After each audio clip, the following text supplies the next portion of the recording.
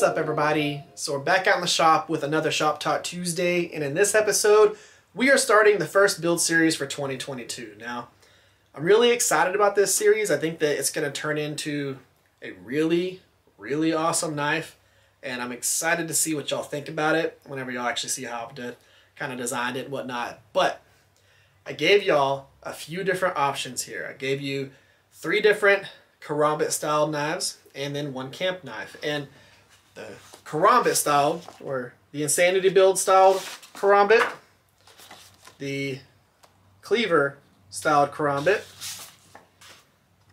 and then the kukri styled karambit.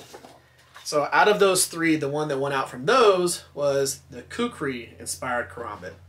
But y'all actually went for the camp knife. That was the most voted for knife out of all of them was the camp knife, which I was kind of surprised because I thought that y'all would want something kind of crazy like the karambit style knife and I was really surprised, but I think it's cool because I've wanted to do a camp knife for a while that was just a camp knife. Now, of course, the original design versus what I'm actually going to be making slightly different. Now, the original design, which was this one right here, this knife was based on a collaboration knife that I made with Jeff Peters. I told y'all about him in the video where I gave you these options. Him and I did a collaboration knife, which was this knife right here. We did this knife as a collaboration. You know, he forged out the blade and did the bevels, and I did the sharpening, did the handle, did the sheath, did all that stuff on it. And it was really cool because that was whenever I had just started actually making knives and trying my hand at this.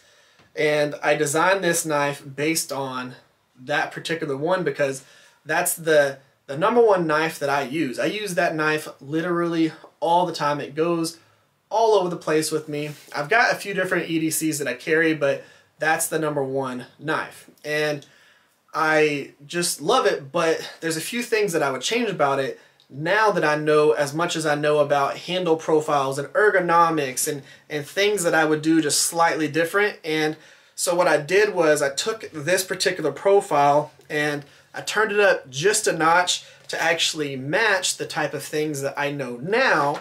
And that birthed this knife. So a li little bit like different profile, but it's the same handle length, the same blade length. A few things that I changed was, of course, handle profile to meet the ergonomics a little bit better. If you look right here, you can see where that original spine came up to. I dropped it down about 3 eighths of an inch just to put this in a better line for where your handle holds it and the tip of the edge. You know, it just flows a little bit better with how you'll actually hold and grip the knife. And then of course I added the little swedge to the top here. Now this knife I'm going to focus on making it nice and clean. Now, we're going to have a little bit of the, the texture from the steel that we're going to be using in the ricasso area. But when it comes to the bevels and everything, we're just going to do a nice, like, we're going to take it up to probably 600 grit, and then we're going to acid etch it and stone wash it. But the bevels are going to be nice and clean. It's going to be clean lines, everything like that. We're not going to do some crazy texture, or anything like that. And uh, this is going to be just a nice overall, just great fighter style camp knife and I'm really excited about it. The steel that we're going to be using, of course, I've been using it a lot lately. I'm definitely going to use it on this one, is this 5160. I want the thickness from this and I want the, the tapered tang. And I want just a little bit of that, that pitted texture so that it kind of resembles so this knife right here, this is that chopper that we made, how it just has that little bit of texture on it, but then it still has really nice clean lines. That's what I'm going for with this particular build. I'm excited about this one. I think it's going to be awesome. And who knows, it might turn into my next EDC. So we'll see how it goes. Y'all let me know if y'all think that this was the right direction to go with the profile and the, the slight adjustments that I did to it. I'm excited about this one. I think it's going to be awesome. So we'll see how it goes. Guys, let's go ahead, get into the forge, light it up, get this piece flattened, get that distal taper brought back up to center to where it matches the tip and everything, let's go ahead and let's knock it out.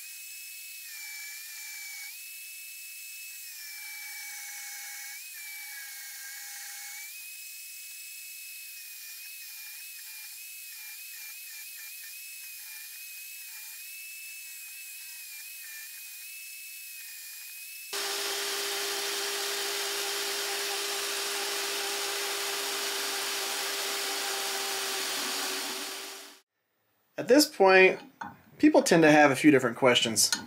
So for one, they'll ask, why did I only drill these three holes when I already have these areas marked? Well, it's pretty simple. I knew exactly where I wanted the choil, this hole, and this hole, but I'm not 100% set where the pins are going to be. So I'm going to do that after I finish the profile and then I'll kind of play with it and figure out exactly where I want them. The next thing is, well, why didn't I forge it to profile? Well, because I didn't want to. I wanted to go ahead and get everything straight, which you can see right there. That follows all the way through. This distal taper goes all the way down. It's nice and centered all the way down. So I accomplished that part. That's what I really wanted to get done. Other than that, I didn't really feel like forging this whole entire thing to profile because 5160 really sucks to forge. For this particular build, I didn't find it necessary, but for a few builds that we have coming in the future, we'll have plenty of forging. For right now, let's go ahead, let's finish profiling this 36 grit belt. This is a used belt. You do not want to use a brand new belt to go through and profile something like this because that hard 90 degree angle right there will rip off a whole lot of nice grit off your belt. So I always use a slightly worn belt for this particular process. You don't have to if you don't want to, but that's what I choose to do.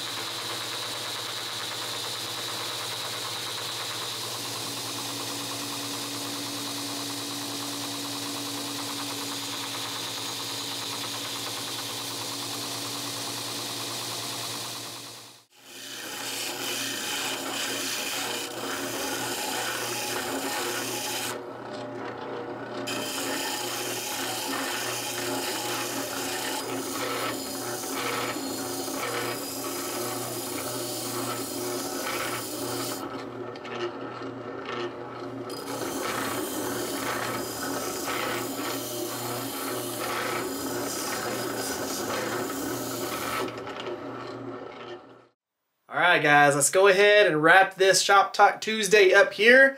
I am absolutely loving the profile for this. I mean, what do y'all think about that? So, a few things that I want to explain about how we're doing the profile here.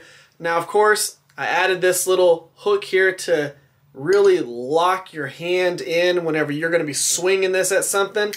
I mean, that's going nowhere. Between the little finger choil that little hook around the pinky right there, it is just going to be super just confident chopping whenever you do this. I mean, I am absolutely going to love this. Now, we are going to be adding jimping to the spine, but one of the big things that changed from the, the original profile to this profile was the fact that I wanted to go with steel this thick and have this taper and have everything like this if I would have not done the swedge or the false edge, this, this piece right here, if I would not have done this, what would have happened is the spine, being over a quarter of an inch thick, would have just made it to where the tip for like a Tonto style blade would have been just too broad and it wouldn't have been a very stabby tip. It would have been a very broad, very wide tip. So I did this so that whenever we grind in this bevel up here and then grind these bevels up to it, it'll thin out the tip a lot. It'll make this a lot lighter towards the tip. We'll have a really broad area where the ricasso is and it'll make the plunge line stand out super awesome but we'll have that that weight towards the center lighter tip lighter tang it should be super wieldable for how beefy it's gonna be but I'm really excited about this one and I'm wondering what do y'all think about it? Let me know in the comment section down below. Do you think this was the right direction to go with this? Do you think that I made the right changes to this? I'm really interested to hear what y'all say. Guys, that's the end of this one. If you would, give this video a thumbs up, share the video, subscribe to the channel. Y'all have an amazing day. Y'all stay safe out there, and I will catch y'all on Friday.